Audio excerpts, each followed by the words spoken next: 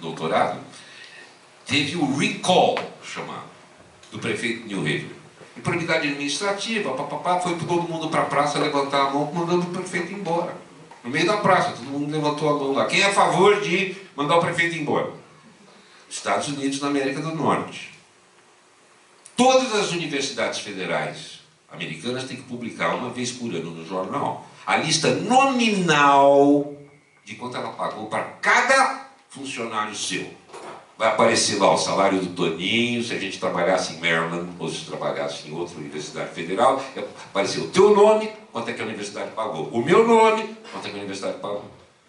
Aqui no Brasil isso é, isso é considerado invasão de privacidade.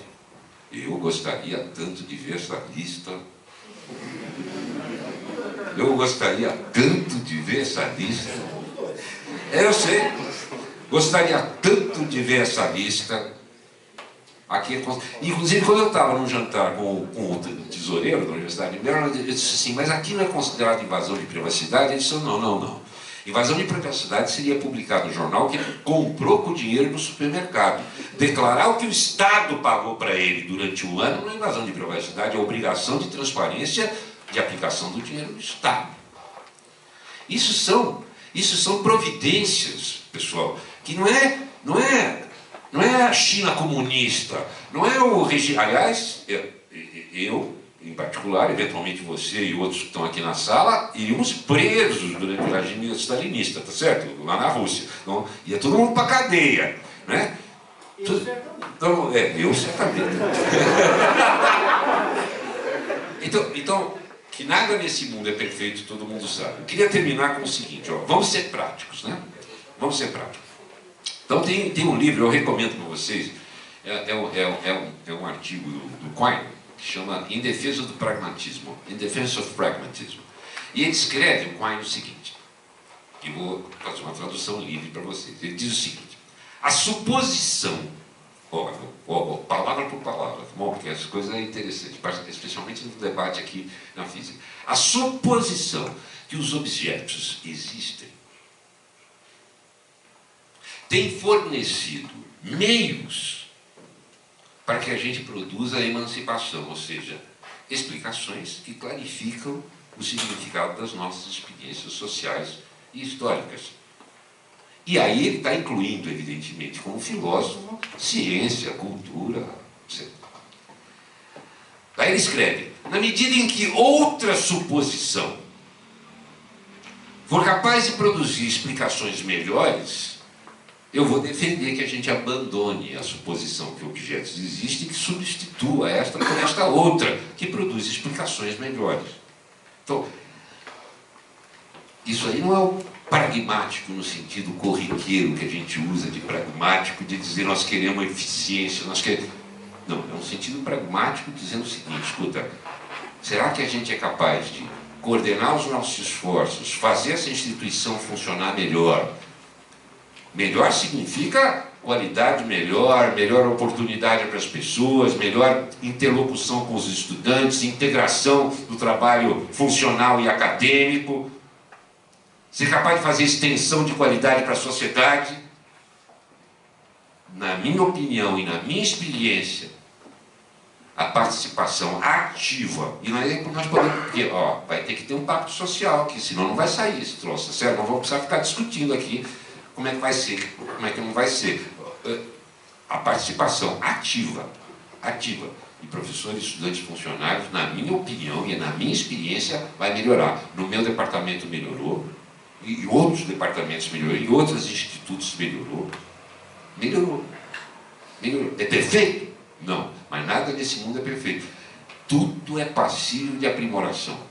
Tudo é possível de melhor. Mas eu não tenho sombra de dúvida que é um caminho importante. Agora, não vamos fazer de conta que isso vai resolver todos os problemas. Não vai. Não vai. A sociedade mostra para a gente que não vai. A natureza mostra para a gente que não vai.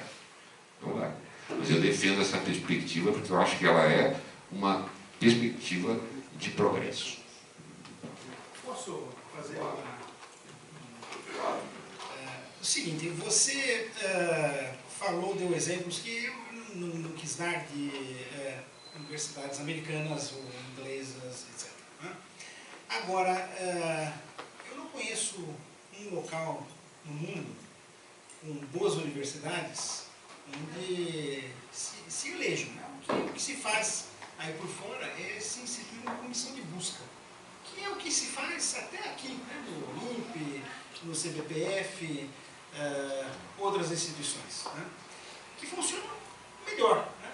Que são, são universidades que, bem ou mal, funcionam melhor, eh, melhores do que as nossas. né? Não estou falando agora dos, institutos brasileiros, né? porque eles têm características muito distintas, mas certamente, eh, sei lá, Caltech, Yale, funcionam bem.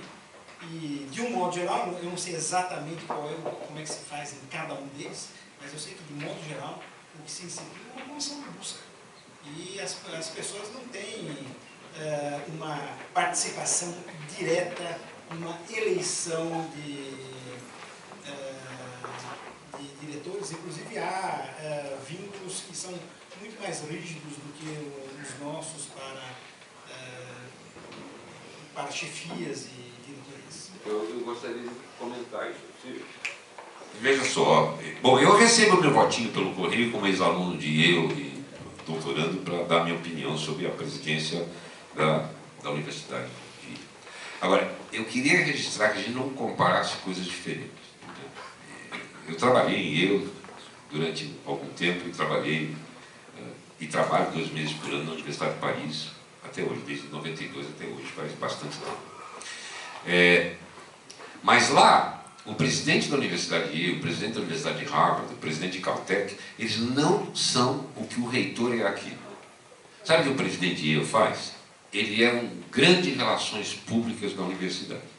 Ele, ele vai, entra em contato com a General Motors, dá festa no jardim, convida as pessoas. Ele não baixa a portaria demitindo funcionário, demitindo não sei o quê. Ele- é outro papel. É outro papel.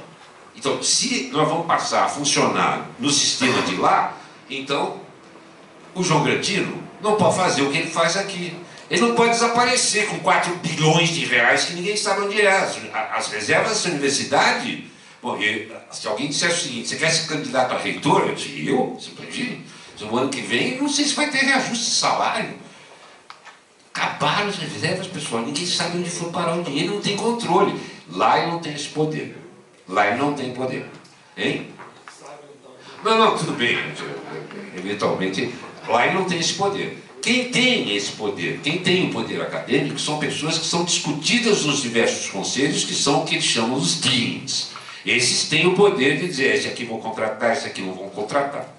Em primeiro lugar. Em segundo lugar, em outros lugares, em, são, são, são eleitos por conselhos. Em Yale são eleitos pelos conselhos dos professores. Né? Não, e o estu- ah, estudante lá é muito importante. O estudante lá é muito importante. Né? Porque, afinal de contas, de lá sai presidente da República, ministro da Defesa. o John Ford é. Né? O John Ford, assim como outros são. Então, estudante lá manda. Mas olha só. Mas olha só. é, os deans. Agora, existem lugares, existem lugares em que ninguém quer ser chefe de departamento. Porque é uma chateação do tamanho do bonde ser chefe de departamento. Certo? Sabe o que eles fazem? Eles contratam. Eles contratam o chefe de departamento. Então, é, é, então o seguinte, eu- a gente sai por aí procurando gente que queira gastar, queira, queira se preocupar com a chefia de departamento, porque ninguém quer se preocupar com essa história, e a gente paga para ele 170 mil dólares por ano para ser chefe de departamento. Isso também existe. Isso também existe. A questão toda, a questão toda para mim é o seguinte: eu sei de todos esses exemplos, trabalhei em lugares que são assim, etc, etc. Agora, para mim o que é importante é o seguinte: o que é mais apropriado para nós, na sociedade onde a gente está, no Brasil que nós estamos aqui? Porque se é para copiar o que está lá fora, vamos acabar com essa história de horizontalidade na carreira. Vamos acabar com um monte de coisa que tem aqui, porque senão vamos avisar o pessoal. Harvard, coitadinho de vocês, vocês não vão conseguir se desenvolver se não tiver nível horizontal na carreira, vocês estão perdidos. Quer dizer, é o seguinte, ó, vamos puxar para cá um certo modelo e vamos puxar para. Ó, eu acho o seguinte, aproveitar da experiência dos outros, estudá-la, saber o que aconteceu, eu acho extremamente útil. Mas colocar no contexto atual, que a gente vive aqui, com os problemas que a gente tem, no estado que a gente vive, no país que a gente está e com as desigualdades sociais que lá não tem e que aqui tem, isso é, isso é fundamental. Então, podemos inventar uma coisa, uma coisa importante que seja importante para cá e que tenha papel aqui. Isso não significa não saber o que está acontecendo por aí, muito pelo contrário, mas não precisa copiar nada.